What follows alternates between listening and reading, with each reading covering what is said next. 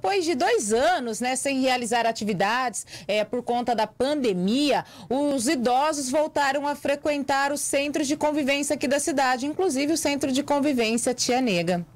Com direito a bingo e até churrasco, os idosos voltaram a frequentar o Centro de Convivência Tia Nega. Nesta segunda-feira, a Secretaria Municipal de Assistência Social retomou com as atividades de fortalecimento de vínculos desenvolvidas pela pasta. As atividades no Centro de Convivência Tia Nega tinham sido suspensas desde o início da pandemia. Mas agora, com a pandemia sob controle com os idosos vacinados, eles puderam retornar à convivência em grupo. É uma grande satisfação, uma grande alegria a gente estar aqui nessa manhã, retornando com os nossos idosos de forma presencial.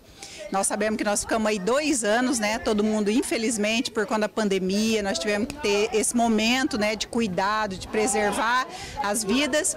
E aí nós ficamos à distância, lógico que monitorando, fazendo várias atividades, mas de forma remota, virtual. E aí nada mais do que nós sabemos que é diferente de, de forma presencial, né? Do calor humano, realmente desse afeto.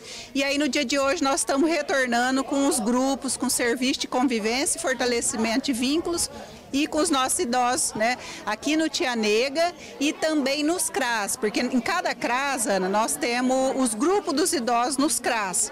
Então agora, a partir de hoje, em todos os serviços de convivência, todos esses grupos de idosos, nós retornamos de forma totalmente presencial.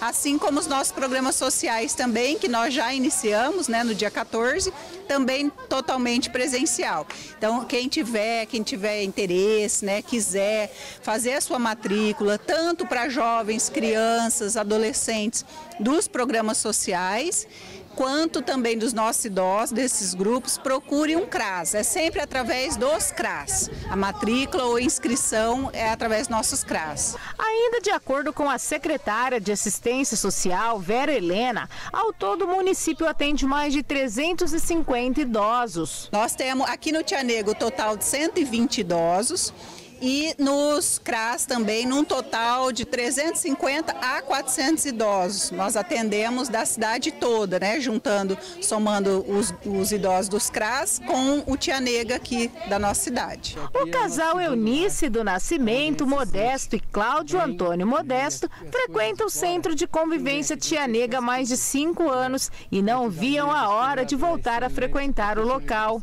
Ai, muda, porque antes a gente ficava só em casa sem fazer nada. Então aqui a gente conversa, ri, brinca, a gente faz tricô, faz crochê, borda, joga jogo de mesa e tem a ginástica que é importante. E a amizade, né? A gente faz muita amizade. Muito bom. E o senhor também estava com saudade? Sim, bastante, porque aqui é o nosso segundo lar. É onde a gente se sente bem, né? E as, e as coisas de fora, quando vem aqui dentro, você esquece tudo, né?